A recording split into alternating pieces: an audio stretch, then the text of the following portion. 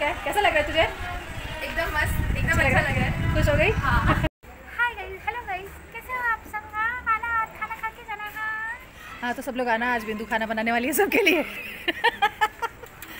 खाना खाने के लिए इनवाइट कर रही है। गुड मॉर्निंग एवरीवन तो कैसे हैं आप लोग? आज सैटरडे है तो बच्चों की छुट्टी है इसलिए सभी लोग मिलके एंजॉय कर रहे हैं। होम भी आ गया है और प्रणाली का ड्रेस भी रेडी हो चुका है तो वो भी खुश हो गई एकदम। ड्रेस बन के रेडी हो चुका है। जब कस्टमर्स ऐसे खुश होते हैं ना तो बहुत अच्छा लगता है मुझे। और शाम हो गई बिंदु भी आ गई है चाय वाय पी रहे हैं हम लोग और ओम और आयुष्मान का थोड़ा चालू है हमेशा की तरह। और कंपटीशन चालू रहता है। कंपटीशन में खड़े हैं दोनों। लड़ लो लड़ लो। भावना कॉलेज गई है ओम घर पे अकेले रह जाता तो उसको बोर होता है इसलिए उसको यहाँ पे लेके आए गए हम लोग। और अभी ये लोग खेलते कम है लड़ते ज़्यादा हैं। और मेरे पौधों को भी देख लीजिए कितने प्यारे लग रहे हैं। बच्चों को तो देख ही लिया लड़ते झगड़ते अभी पौधों को देख लीजिए। मन खुश हो जाएगा। और अच्छा लगे तो वीडियो को लाइक ज़रूर करना। Hello everyone welcome back to my channel तो कैसे हैं आप लोग? आई होप आप सब अच्छे होंगे, मैं भी ठीक हूँ। तो अभी शाम हो गई है और सुबह से ज़्यादा कुछ नहीं बनाया मैंने, थोड़ा बहुत जो था बना लिया है। अभी हम लोग जा रहे हैं बिंदु के घर पर और वहाँ से जाऊँगी, थोड़ा ये कपड़ा जो सिला है, इसको दे दूँगी और लॉक के लिए। ओवर लॉक बोलते बोलते कुछ ज़्यादा ही बोल देती हूँ। दो दो गीता है, एक गीता अंदर, एक बाहर। मैंने चेंज भी कर लिया है। अच्छा लग रहा है ना? ये दोनों बंदर लग गए हैं अपना अपना चप्पल जूता ढूंढ रहे हैं। वो बंदर बंदर टू देखो उधर रखा है। हाँ उधर रखा है। उधर रखा है? ये बंदर ये बंदर टू हाँ मेरे बाप चल। मैंने बनाया है इतना सब कुछ वो नहीं खाया। हुआ नहीं पक्का नहीं कच्चा दिलाएँगे। हम कच्चा कच्चा दो लोग को। हाँ। लवली का फ़ोन आ रहा है आपने पहले जो मंचूरियन बनाया था ना आप ऐसे अभी अच्छा हाँ हाँ थैंक यू लेकिन लवली का फ़ोन लेके जाना मारेगी तुझे। लेके जाने। के लिए बोला है। हाँ ठीक है चल।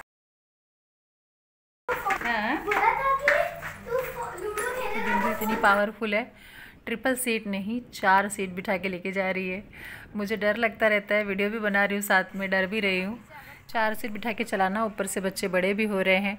बच्चे भी डर रहे थे पर बिंदु स्ट्रांग है इसलिए चला के लेके आ गई। आराम से अभी बिंदु गाड़ी पार्क कर रही है और मैं घर पे जा रही हूँ।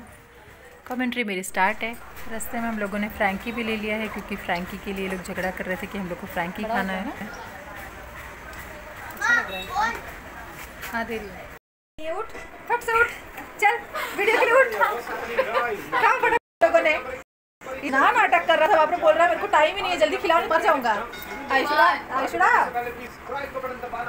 जैसे मैं वीडियो बनाने लगती हूँ तो लोग शर्माने लगते हैं। इतना टाइम हो गया फिर भी इन लोग को शर्म आती रहती है पता नहीं क्यों। देखो क्या क्या नाम है इसका? फ्रैंकी। फ्रैंकी की लालची। लालची नंबर टू ये लालची नंबर वन बोल रहा था कि मैं मर जाऊँगा अगर अब भी क्या भी मुझे नहीं दिया खाने के लिए। हाँ? पाँच मिनट का भी टाइम नहीं था इसके पास। बोल इधर ही तो। बोले टाइम नहीं है तो मर जा भाई घर पे जाना पड़ेगा। कितना चुम्बी लगी रे परेशान कर रही है बच्चे को।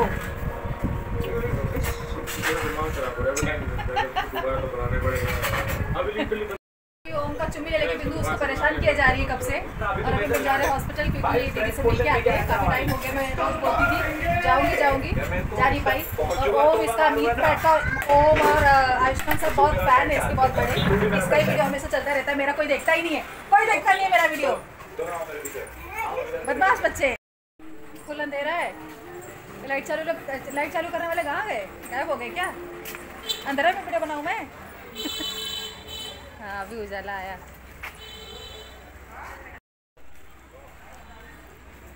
हाय गाइस हेलो गाइस कैसे आप सब? खाना खाना खा के जाना हाँ। हाँ तो सब लोग आना आज बिंदु खाना बनाने वाली है सबके लिए। खाना खाने के लिए इनवाइट कर रही है। ना अभी रील बनाना गाड़ी चला के कौन सा?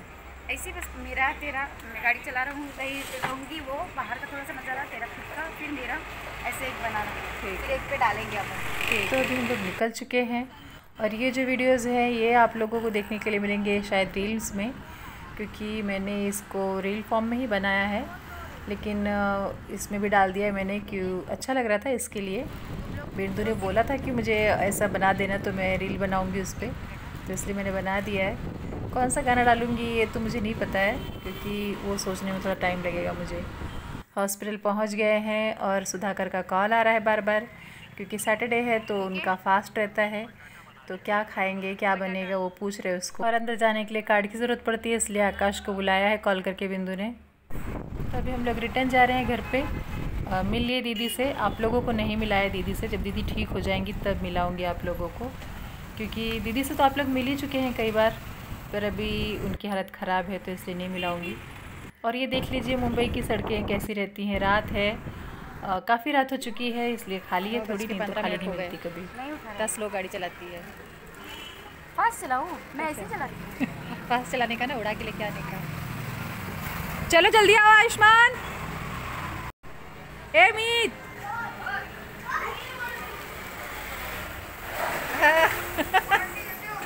ठीक हूँ, तू कैसा है?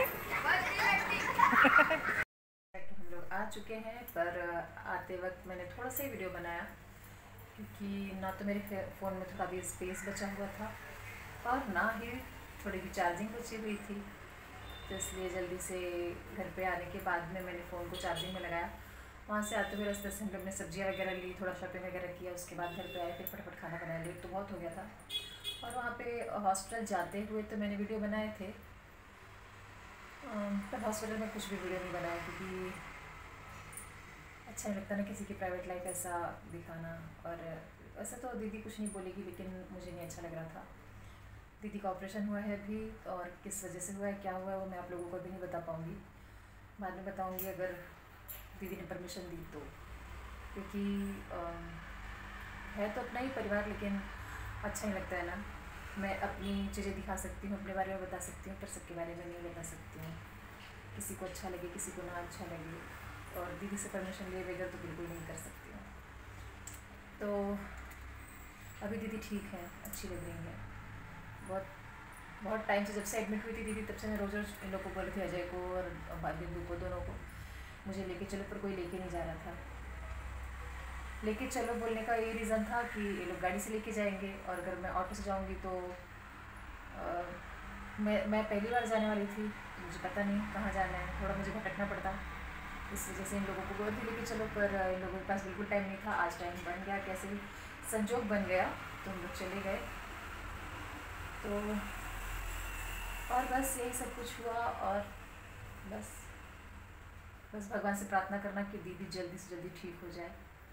सभी के ऊपर मुसीबतें आती हैं, पर लोगों की प्रार्थनाएँ होती हैं, दुआएँ होती हैं, जो काफ़ी हेल्प करती हैं ऐसे मुश्किलों से निकलने के लिए। तो आप लोग भी मेरी दीदी के लिए प्रार्थना करना भी जल्दी से ठीक हो जाए, सब कुछ ठीक हो जाए उनकी लाइफ में भी। ऐसे सब कुछ तो ठीक नहीं हो सकता किसी की भी लाइफ में, लेकिन जो बहुत भारी मुसीबतें रहती हैं, वो थोड़ा थोड़ा कम हो जाए, थोड़ा स्लो हो जाए। क्योंकि एक साथ में जब बहुत बड़ी मुसीबत आती है तो अच्छे से अच्छा इंसान हिल जाता है। तो इस वजह से थोड़ा अगर आप लोग भगवान से प्रार्थना करेंगे तो शायद भगवान मतलब बोलते हैं ना कि किसी एक की नहीं सुनता है, लेकिन जब सब लोग मिल के बोलते हैं तो भगवान सुन लेता है। तो शायद ऐसा कुछ हो जाए। हम लोग तो प्रार्थना कर रहे हैं दिन रात। आप लोग भी थोड़ा करना तो दीदी पे भी थोड़ा अच्छा हो जाएगा। तो चलिए, आज के ब्लॉग का यहीं पे एंड करूँगी और आप लोगों से मिलूँगी मैं नेक्स्ट ब्लॉग में। तक के लिए बाय बाय गुड नाइट अपना अपना ध्यान रखिए।